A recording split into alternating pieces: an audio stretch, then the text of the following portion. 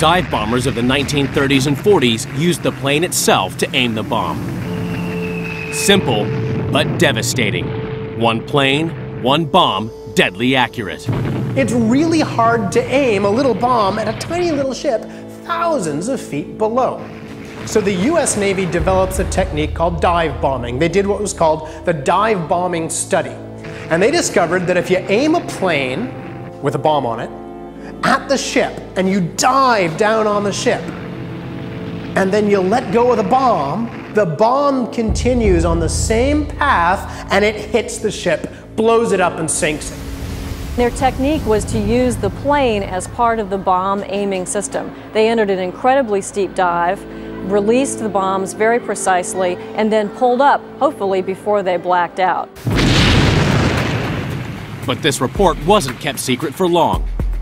Germany obtained copies, and legendary designer Hugo Junkers began development on the ultimate dive bomber. The Junkers 87, better known as the Stuka. The German Luftwaffe, when it is reconstructed in the early 1930s, they've got the dive bombing study on the table in front of them. And good old Junkers has been building a dive bomber, the Stuka, which is an aircraft optimized for dropping a big fat bomb on a little target far below. And if that little target's a tank, bang, you lose the tank.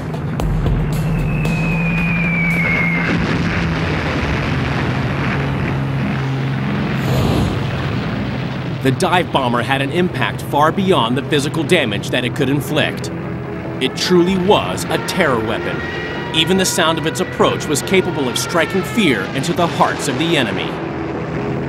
The Germans built upon this with the Stuka by fitting it with sirens so that during the dive, the already distinctive noise of the aircraft as it approached the Earth was enhanced by this shrieking wail.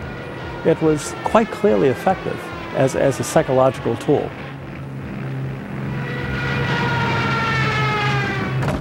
High altitude bombing was more hit and miss. British studies in 1941 found that only one in nine planes dropped their bombs even five miles from the target. So the RAF bombed entire cities by night. But the U.S. Army Air Force developed precision aiming for the bombing of specific military and industrial targets.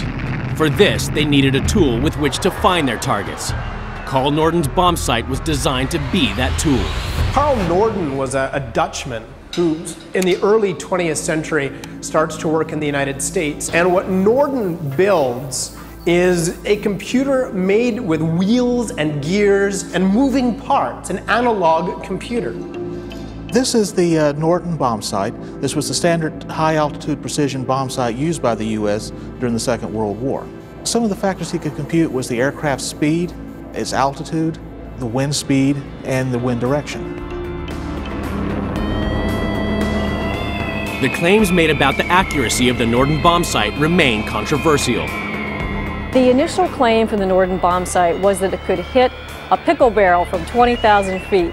The reality was it could probably place its bomb within a 100 foot circle from 20,000 feet. That was still pretty good.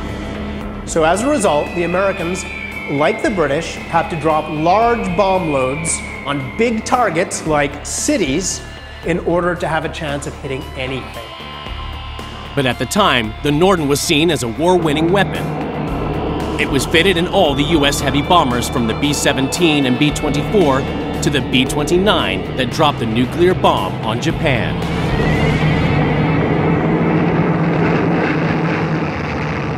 The Norden bomb sight wasn't the only way that the Air Force tried to guide their bombs onto their target. Project Aphrodite was to be the ultimate precision bomber raid.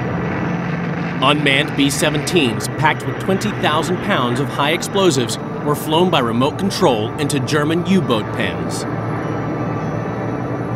Unfortunately, the guidance was just too difficult, so it wasn't possible to make unmanned aerial vehicles out of these World War II bombers. The technology just wasn't there. The Aphrodite project wasn't a success. Joseph P. Kennedy, brother of future President JFK, was killed when his deadly cargo that he was flying was detonated before he had time to bail out. Norden and Aphrodite still hadn't ensured the destruction of critical targets. Studies into the bombing campaign after the war prompted a change in thinking. Massive resources had gone into Allied strategic bombing, but precision targeting had proved ineffective.